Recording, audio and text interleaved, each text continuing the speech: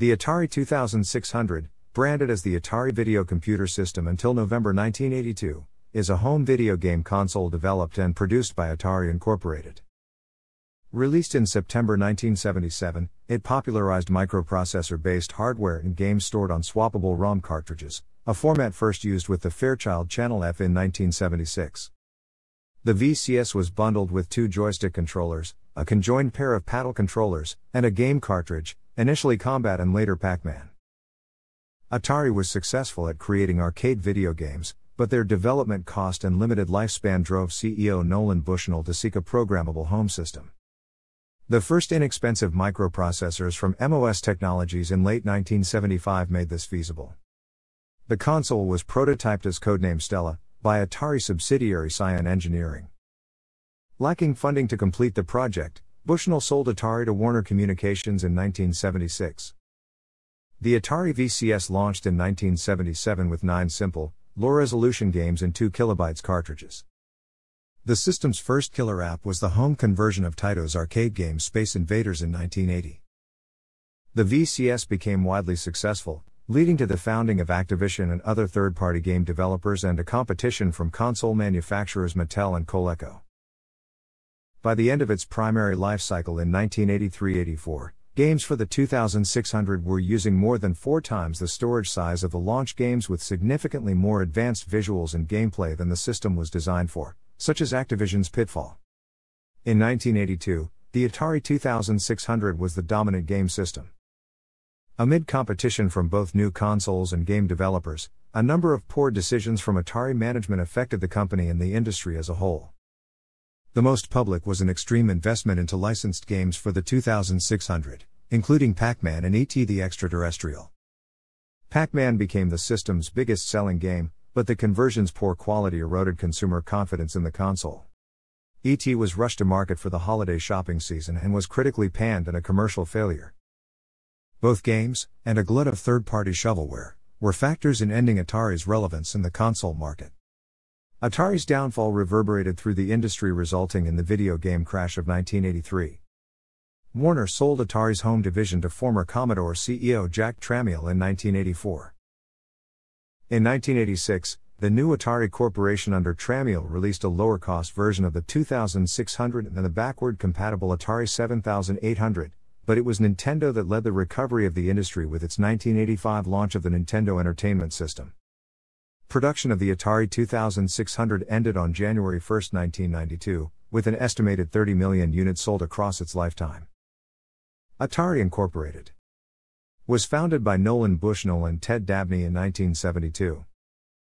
The first major product is Pong, released in 1972, the first successful coin operated video game. While Atari continued to develop new arcade games in following years, Pong gave rise to a number of competitors to the growing arcade game market. The competition, along with other missteps by Atari, led to financial problems in 1974, though recovering by the end of the year. By 1975, Atari had released a Pong home console, competing against Magnavox, the only other major producer of home consoles at the time. Atari engineers recognized, however, the limitation of custom logic burned onto the circuit board, permanently confining the whole console to only one game. The increasing competition increased the risk, as Atari had found with past arcade games and again with dedicated home consoles. Both platforms are built from integrating discrete electromechanical components into circuits, rather than programmed as on a mainframe computer. Therefore, development of a console had cost at least $100,000 plus time to complete, but the final product only had about a three month shelf life until becoming outdated by competition. By 1974, Atari had acquired Cyan Engineering, a Grass Valley electronics company founded by Steve Mayer and Larry Emmons, both former colleagues of Bushnell and Dabney from Ampex, who helped to develop new ideas for Atari's arcade games. Even prior to the release of the home version of Pong, Cyan's engineers, led by Mayer and Ron Milner, had envisioned a home console powered by new programmable microprocessors capable of playing Atari's current arcade offerings. The programmable microprocessors would enable a console design significantly simpler and more powerful than any dedicated single game unit. However, such chips cost $100 to $300, far outside the range that their market would support. Atari had opened negotiations to use Motorola's new 6800 in future systems. In September 1975, MOS Technology debuted the 6502 microprocessor for $25 at the Wescon Trade Show in San Francisco. Mayer and Milner attended and met with the leader of the team that created the chip, Chuck Peddle, and proposed using the 6502 in a game console, and offered to discuss it further at Cyan's facilities after the show. Over two days, MOS and Cyan engineers sketched out a 6502 based console designed by Mayer and Milner's specifications. Financial models showed that even at $25, the 6502 would be too expensive, and Peddle offered them a planned 6507 microprocessor, a cost reduced version of the 6502, and MOS's RIOT chip for input slash output. Cyan and MOS negotiated the 6507 and RIOT chips at $12 a pair. MOS also introduced Cyan to Microcomputer Associates, who had separately developed debugging software and hardware for MOS, and had developed the Jolt computer for testing the 6502. Which Peddle suggested would be useful for Atari and Cyan to use while developing their system. Milner was able to demonstrate a proof of concept for a programmable console by implementing Tank, an arcade game by Atari subsidiary Key Games, on the Jolt. As part of the deal, Atari wanted a second source of the chipset. Peddle and Paivinen suggested Synertek, whose co founder, Bob Schreiner, was a friend of Peddle. In October 1975, Atari informed the market that it was moving forward with MOS. The Motorola sales team had already told its management that the Atari deal was finalized, and Motorola management was livid. They announced a lawsuit against MOS the next week. The first Stella prototype on display at the Computer History Museum by December 1975, Atari hired Joe Decuir, a recent graduate from University of California, Berkeley who had been doing his own testing on the 6502. Decuir began debugging the first prototype designed by Mayer and Milner, which gained the codename Stella after the brand of Decuir's bicycle. This prototype included a breadboard level design of the graphics interface to build upon. A second prototype was completed by March 1976 with the help of Jay Miner, who created a chip called the Television Interface Adapter to send graphics and audio to a television. The second prototype included a TIA, a 6507, and a ROM cartridge slot and adapter. As the TIA's design was refined, Al Alcorn brought in Atari's game developers to provide input on features. There are significant limitations in the 6507, the TIA, and other components, so the programmers creatively optimized their games to maximize the console. The console lacks a frame buffer and requires games to instruct the system to generate graphics in synchronization with the electron gun in the cathode ray tube as it scans across rows on the screen. The programmers found ways to race the beam to perform other functions while the electron gun scans outside of the visible screen. Alongside the electronics development, Bushnell brought in Gene Landrum, a consultant who had just prior consulted for Fairchild Camera and an instrument for its upcoming Channel F, to determine the consumer requirements for the console. In his final report, Landrum suggested a living room aesthetic, with a wood grain finish, and the cartridges must be idiot proof, child proof, and effective in resisting potential static, electricity, problems in a living room environment. Landrum recommended it include four to five dedicated games in addition to the cartridges, but this was dropped in the final designs. The cartridge design was done by James Asher and Douglas Hardy. Hardy had been an engineer for Fairchild and helped in the initial design of the Channel F cartridges, but he quit to join Atari in 1976. The interior of the cartridge that Asher and Hardy designed was sufficiently different to avoid patent conflicts, but the exterior components were directly influenced by the Channel F to help work around the static electricity concerns. Atari was still recovering from its 1974 financial woes and needed additional capital to fully enter the home console market, though Bushnell was wary of being beholden to outside financial sources. Atari obtained smaller investments through 1975, but not at the scale it needed, and began considering a sale to a larger firm by early 1976. Atari was introduced to Warner Communications, which saw the potential for the growing video game industry to help offset declining profits from its film and music divisions. Negotiations took place during 1976, during which Atari cleared itself of liabilities, including settling a patent infringement lawsuit with Magnavox over Ralph H. Baer's patents that were the basis for the Magnavox Odyssey. In mid 1976, Fairchild announced the Channel F, planned for release later that year, beating Atari to the market. By October 1976, Warner and Atari agreed to the purchase of Atari for $28 million. Warner provided an estimated $120 million, which allowed Stella to be fast tracked. By 1977, development had advanced enough to brand it the Atari Video Computer System and start developing games. The second VCS model has lighter plastic molding and shielding, and a more angular shape, than the 1977 launch model. From 1980, the VCS has only four front switches and a capital letters logo type. The unit was showcased on June 4, 1977, at the Summer Consumer Electronics Show with plans for retail release in October. The announcement was purportedly delayed to wait out the terms of the Magnavox patent lawsuit settlement, which would have given Magnavox all technical information on any of Atari's products announced between June 1, 1976, and June 1, 1977. However, Atari encountered production problems during its first batch, and its testing was complicated by the use of cartridges.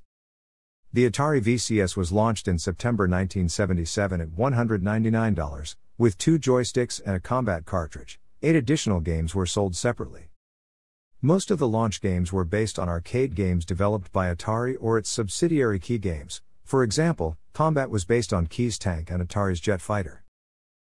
Atari sold between 350,000 and 400,000 Atari VCS units during 1977, attributed to the delay in shipping the units and consumers' unfamiliarity with a swappable cartridge console that is not dedicated to only one game. In 1978, Atari sold only 550,000 of the 800,000 systems manufactured.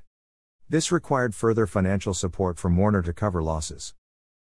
Atari sold 1 million consoles in 1979, particularly during the holiday season, but there was new competition from the Mattel Electronics and Intellivision and Magnavox Odyssey Squared, which also used swappable ROM cartridges.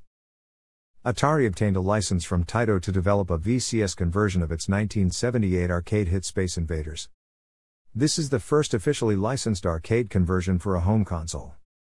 Its release in March 1980 doubled the console's sales for the year to more than 2 million units, and was considered the Atari 2600's killer application. Sales then doubled again for the next two years. By 1982, 10 million consoles had been sold in the United States, while its best selling game was Pac Man at over 8 million copies sold by 1990. Pac Man propelled worldwide Atari VCS sales to 12 million units during 1982, eventually selling 15 million consoles worldwide by the end of the year. In Europe, the Atari VCS sold 125,000 units in the United Kingdom during 1980, and 450,000 in West Germany by 1984.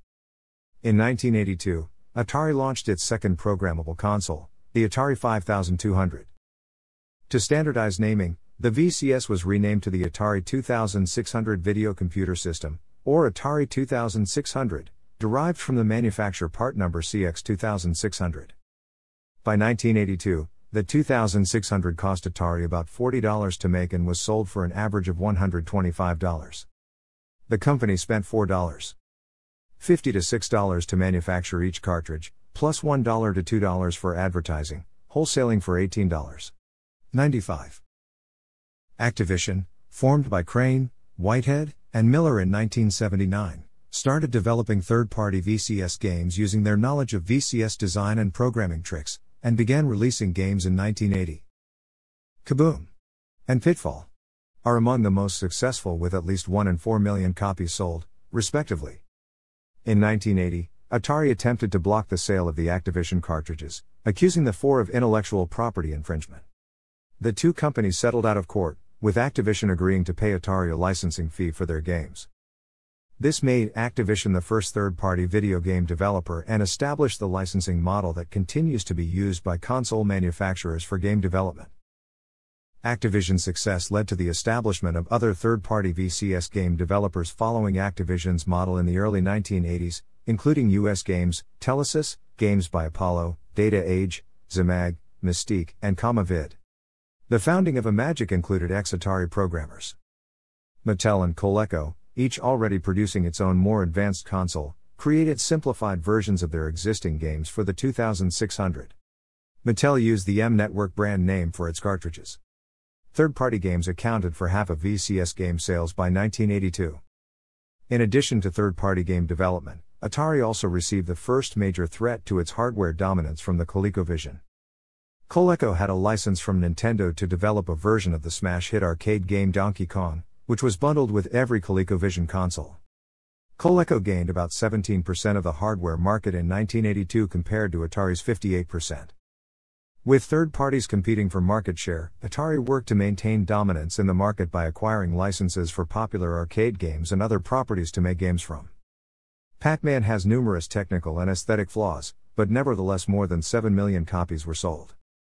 Heading into the 1982 holiday shopping season, Atari had placed high sales expectations on E.T. the Extraterrestrial, a game programmed in about six weeks.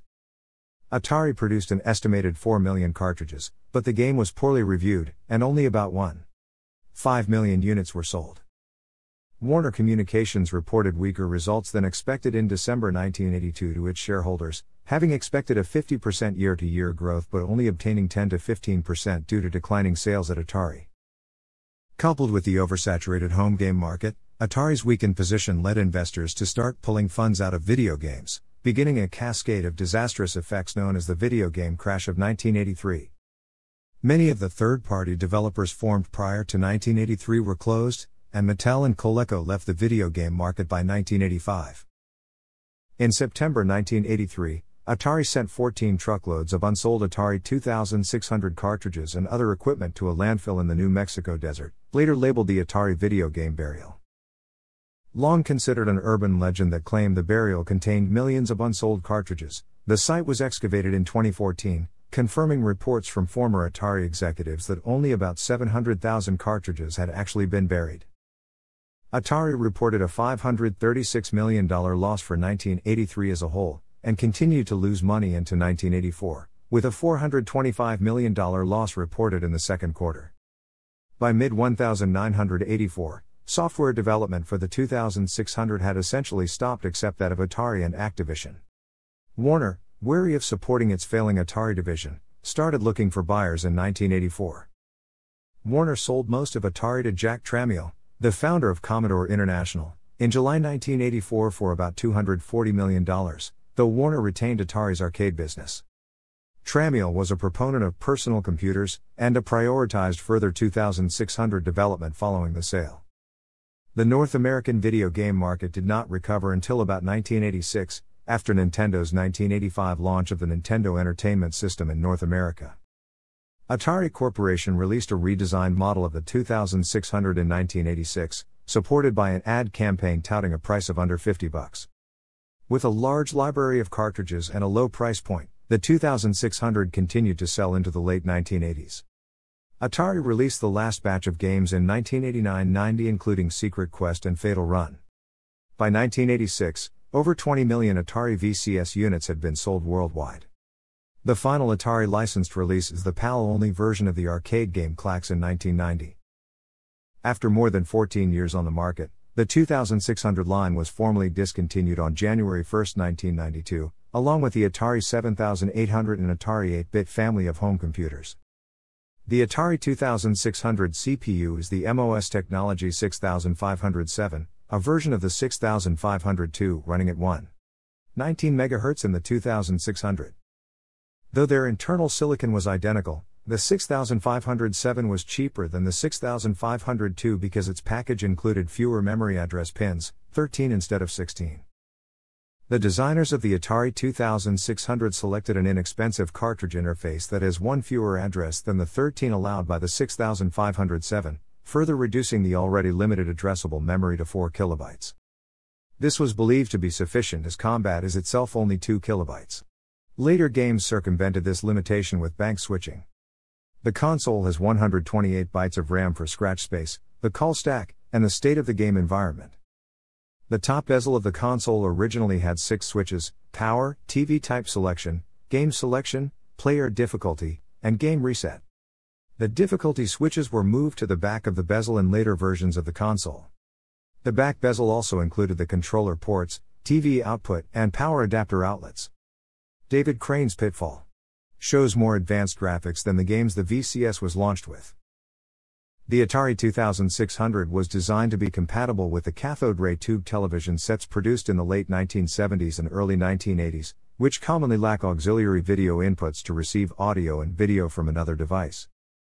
Therefore, to connect to a TV, the console generates a radio frequency signal compatible with the regional television standards, using a special switch box to act as the television's antenna. Atari developed the television interface adapter chip in the VCS to handle the graphics and conversion to a television signal. It provides a single color, 20 bit background register that covers the left half of the screen and is either repeated or reflected on the right side. There are five single color sprites, two 8 pixel wide players, two 1 bit missiles, which share the same colors as the players, and a 1 pixel ball, which shares the background color. The 1 bit sprites all can be controlled to stretch to 1, 2, 4, or 8 pixels. The system was designed without a frame buffer to avoid the cost of the associated RAM. The background and sprites apply to a single scan line. And as the display is output to the television, the program can change colors, sprite positions, and background settings. The careful timing required to sync the code to the screen on the part of the programmer was labeled racing the beam. The actual game logic runs when the television beam is outside of the visible area of the screen. Early games for the system used the same visuals for pairs of scan lines, giving a lower vertical resolution, to allow more time for the next row of graphics to be prepared. Later games, such as Pitfall, change the visuals for each scan line or extend the black areas around the screen to extend the game code's processing time. Regional releases of the Atari 2600 use modified TIA chips for each region's television formats, which require games to be developed and published separately for each region. All modes are 160 pixels wide. NTSC mode provides 192 visible lines per screen, drawn at 60 Hz, with 16 colors, each at 8 levels of brightness. PAL mode provides more vertical scan lines, with 228 visible lines per screen, but drawn at 50 Hz and only 13 colors. SECAM mode, also a 50 Hz format, is limited to 8 colors, each with only a single brightness level. CX40 joystick The first VCS bundle has two types of controllers a joystick and pair of rotary paddle controllers. Driving controllers, which are similar to paddle controllers but can be continuously rotated, shipped with the Indy 500 launch game. After less than a year, the CX10 joystick was replaced with the CX40 model designed by James C. Asher. Because the Atari joystick port and CX40 joystick became industry standards, 2600 joysticks and some other peripherals work with later systems, including the MSX, Commodore 64, Amiga, Atari 8 bit family, and Atari ST The CX40 joystick can be used with the Master System and Sega Genesis, but does not provide all the buttons of a native controller. Third party controllers include Wico's command control joystick.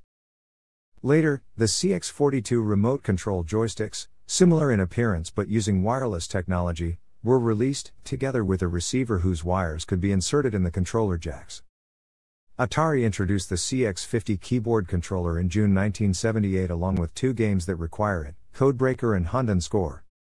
The similar, but simpler, CX23 Kids controller was released later for a series of games aimed at a younger audience. The CX22 trackball controller was announced in January 1983 and is compatible with the Atari 8 bit family. There were two attempts to turn the Atari 2600 into a keyboard equipped home computer. Atari's never released CX3000 graduate keyboard, and the CompuMate keyboard by Spectravideo, which was released in 1983. The all black model that first used the Atari 2600 name Sears rebranded the VCS as the Video Arcade for its Telegames line. The design of the Japan only Atari 2800 was later used in the US for the Sears Video Arcade 2. The 1986 cost reduced version, nicknamed 2600 Jr., the initial production of the VCS was made in Sunnyvale during 1977. Using thick polystyrene plastic for the casing as to give the impression of weight from what was mostly an empty shell inside. The initial Sunnyvale batch had also included potential mounts for an internal speaker system on the casing, though the speakers were found to be too expensive to include and instead sound was routed through the TIA to the connected television. All six console switches on the front panel. Production of the unit was moved to Hong Kong in 1979, where a thinner plastic was used for the casing, reducing the system's weight. These two versions are commonly referred to as heavy sixers and light sixers respectively, representing the six front switches. In 1980, the difficulty switches were moved to the back of the console, leaving four switches on the front. Otherwise, these four switch consoles look nearly identical to the earlier six switch models. In 1982, Atari rebranded the console as the Atari 2600, a name first used on a version of the 4 switch model without woodgrain, giving it an all black appearance. Atari continued its OEM relationship with Sears under the latter's Telegames brand, which started in 1975 with the original Pong. This is unrelated to the company Telegames, which later produced 2600 cartridges. Sears released several models of the VCS as the Sears Video Arcade series starting in 1977. In 1983, the previously Japan only Atari 2800 was rebranded as the Sears Video Arcade 2. Sears released versions of Atari's games with Telegames branding, usually with different titles. Three games were produced by Atari for Sears as exclusive releases Steeplechase, Stellar Track, and Submarine Commander. The Atari 2800 is the Japanese version of the 2600 released in October 1983. It is the first Japan specific release of a 2600, though companies like Epoch had distributed the 2600 in Japan previously. The 2800 was released a short time after Nintendo's Family Computer, and it did not gain a significant share of the market. Sears released the 2800 in the US in 1983 as the Sears Video Arcade 2 packaged with two controllers and Space Invaders. Around 30 specially branded games were released for the 2800. Designed by engineer Joe Tilley, the 2800 has four controller ports instead of the two of the 2600. The controllers are an all in one design using a combination of an 8 direction digital joystick and a 270 degree paddle, designed by John Amber. The 2800's case design departed from the 2600, using a wedge shape with non protruding switches. The case style is the basis for the Atari 7800, designed by Barney Huang. The 1986 model has a smaller, cost reduced form factor with an Atari 7800 like appearance. It was advertised as a budget gaming system with the ability to run a large collection of games. Released after the video game crash of 1983, and after the North American launch of the Nintendo Entertainment System, the 2600 was supported with new games and television commercials promoting the fun is back. Atari released several minor stylistic variations the large rainbow, short rainbow, and an all black version sold only in Ireland. Later European versions include a joypad. In 1977, nine games were released on cartridge to accompany the launch of the console Air Sea Battle, Basic Math, Blackjack, Combat, Indy 500, Starship, Street Racer, Surround, and Video Olympics. Indy 500 shipped with special driving controllers, which are like paddles but rotate freely. Street Racer and Video Olympics use the standard paddle controllers. Cover art for Atari's games, such as this cover for Combat illustrated by Cliff Spahn, were aimed to capture the player's imagination and albeit the low fidelity of game graphics. Atari determined that box art featuring only descriptions of the game and screenshots would not be sufficient to sell games in retail stores, since most games were based on abstract principles and screenshots give little information. Atari outsourced box art to Cliff Spahn, who created visually interesting artwork with implications of dynamic movement intended to engage the player's imagination while staying true to the gameplay. Spahn's style became a standard for Atari when bringing in assistant artists, including Susan Jaekel, Rick Guidice, John Enright, and Steve Hendricks. Spahn and Hendricks were the largest contributors to the covers in the Atari 2600 library. Ralph McQuarrie, a concept artist on the Star Wars series, was commissioned for one cover, the arcade conversion of Vanguard. These artists generally conferred with the programmer to learn about the game before drawing the art. An Atari VCS port of the breakout arcade game appeared in 1978. The original is in black and white with a colored overlay, and the home version is in color. In 1980, Atari released Adventure, the first action adventure game, and the first home game with a hidden Easter egg. Rick Maurer's port of Taito Space Invaders, released in 1980, is the first VCS game to have more than 1 million copies sold, eventually doubling that within a year and totaling more than 6 million cartridges by 1983. It became the killer app to drive console sales.